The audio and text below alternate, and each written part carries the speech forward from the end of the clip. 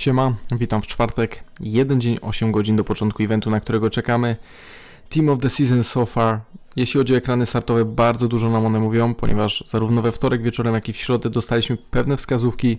Kolejno we wtorek dostaliśmy informacje na temat, jakie ligi będą, co zaraz sobie przeanalizujemy.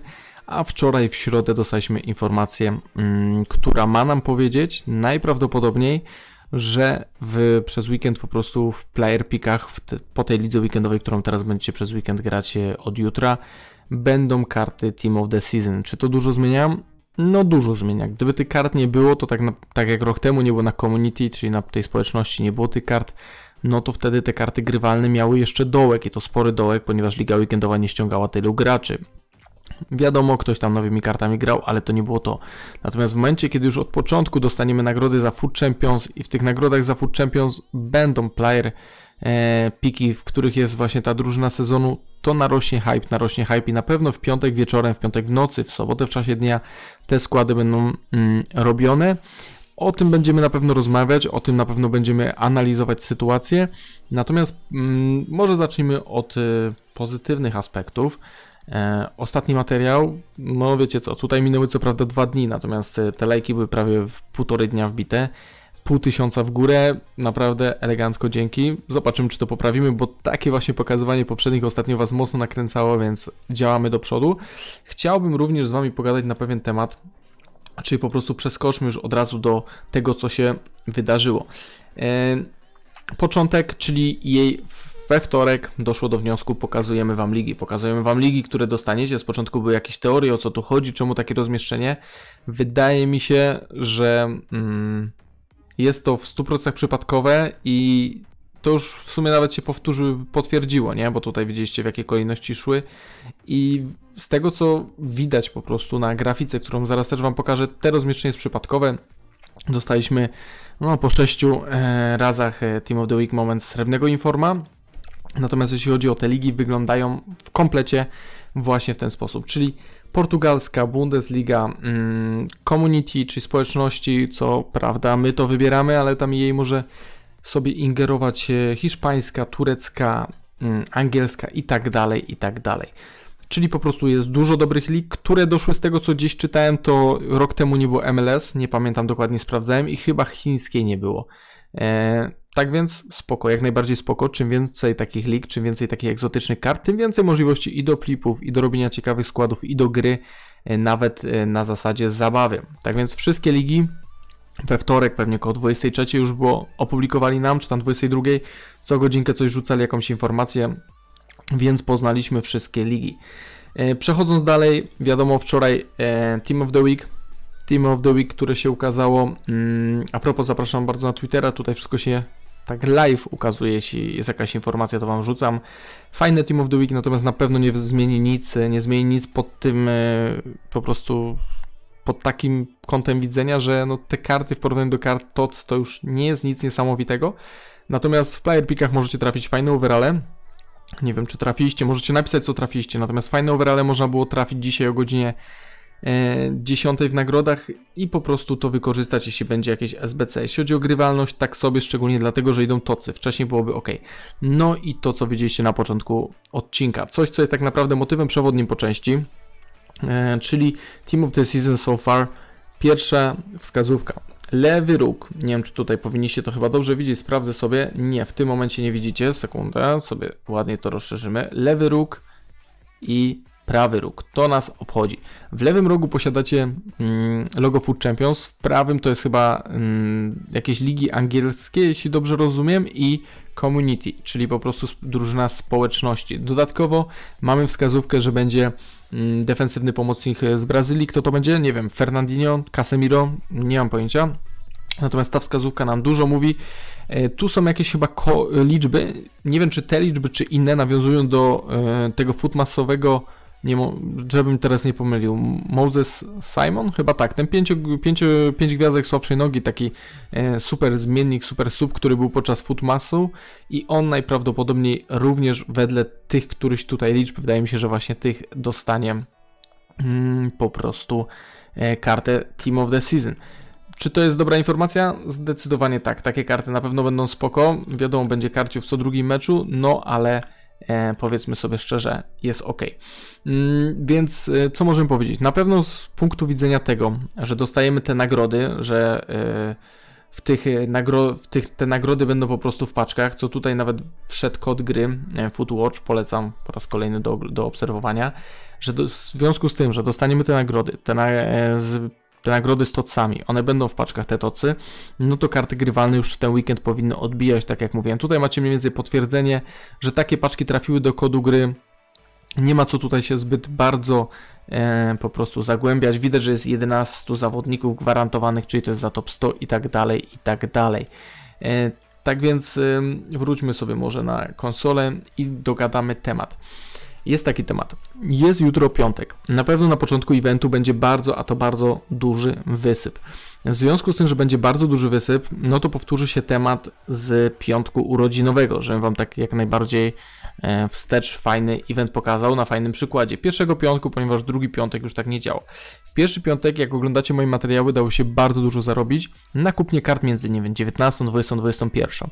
Co może dać Wam największą przewagę w takim wypadku, co może Wam pomóc i jaka informacja tak naprawdę e, napędzić. E, inaczej, pomóc możecie sobie troszkę, a troszkę musi Wam szczęście. Po pierwsze, jest temat licytacji ikon. E, jeśli chodzi o licytację ikon, mm, serwery padają o godzinie 19. Tutaj nie ma żadnej po prostu logiki e, pokrętnej, żeby ktoś nie wiadomo co musiał zrozumieć. Po prostu serwery padają o godzinie 19. W momencie, kiedy serwery padną, E, wyłączone są, większość graczy nie może się zalogować, no to niestety i nie ma żadnych systemów zabezpieczeń. Licytacje, nie wiem kto wystawia ikony w ten sposób na licytację, czy różnego typu karty specjalne, które są dużo warte, wystawiają po niskich widełkach i po prostu z tych licytacji można skorzystać.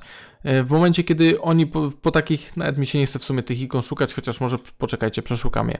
W momencie, kiedy oni wystawiają po takich niskich, wy wchodzicie, nie wiem, za 10.7, za 10.19, za 10.19 jeszcze w miarę te serwery zwykle chodzą, ludzie zaczynają je masowo odświeżać o godzinie 19, no i w momencie, kiedy wejdziecie 10 minut wcześniej, no to lecicie na tą, sorry, na tą 15, 12 minutę i sobie licytujecie. Podbijacie sobie e, ikony, które mają bardzo duże widełki ustawione. Wiadomo, za pomocą filtrów możecie sobie to w miarę e, ustawić. Tak samo możecie to ustawić przy jakichś informach czy kartach złotych, chociaż złote będzie trudniej znaleźć na takiego typu e, licytacjach, ponieważ większość ludzi mimo wszystko te złote grywalne wystawia normalnie, ale takie karty specjalne jak najbardziej. Wi wiadomo, 20, pewnie 30 minut będą olbrzymie problemy z zalogowaniem się do gry, więc podbicie 10 minut wcześniej takiej ikony na cenę, która da nam zysk, czy tam kilku, zależy jaki macie budżet, może być pierwszym bardzo dobrym sposobem na zarobek, szczególnie, że z początku można nie wejść. Później Wydaje mi się, że notoryczne sprawdzanie, czy serwery działają. W momencie, kiedy na Xboxie serwery wybiło podczas urodzin, był pewien moment. Moment, w którym ci, co jednak byli w grze jakimś cudem, wystawiali karty overallowe przykładowo, a one im nie schodziły, no bo nie było tej mm, liczby ludzi nabywców. E, nie było nabywców tych kart, a co za tym idzie, ci, co sprzedawali, podcinali coraz bardziej, coraz bardziej. I w momencie, kiedy wjechaliśmy na ten rynek, e, zorientowaliśmy się, że zaczyna już spoko działać, człowiek się dostał na niego. Były takie okienka, że Busquets z 33 do 55, po 50 do później odbija w okolicy 50, każda karta typu Busquets 89 odbijały, tak więc ten dołek jak najbardziej może być największy w momencie, kiedy serwery włączyliby po jakimś dłuższym czasie. Wtedy godziny było problemów, półtorej godziny. Czy tu będzie podobnie? Zależy, jakie serwery wydolą, czy nie wydolą. Natomiast temat jest taki, że na pewno będzie to jeszcze większy event i będzie jeszcze, większe, taki, jeszcze większy skomasowany atak na serwery. Ludzie po prostu będą robić, e, już Wam pokażę na jakiej zasadzie, będą robić wyjść o godzinie 19 i następnie będą wchodzić do tego Ultimate'a, będą odświeżać WebAppa, będą e, odświeżać Companiona i co za tym idzie, mm, po prostu będą te serwery bardzo mocno obciążone, dużo mocniej niż są zwykle. E, to cała, to cała recepta mi się wydaje. Na pewno e, to jest e, bardzo ważna sprawa, czyli po pierwsze możecie sobie wcześniej zalicytować, nie za cały budżet, żeby czasem się okazało, że wejdziecie, a wy wszystko w licytacjach macie. Chociaż licytacje kończące się kilka minut po godzinie 19 jak najbardziej polecam i sam tak kilka licytacji puszczę.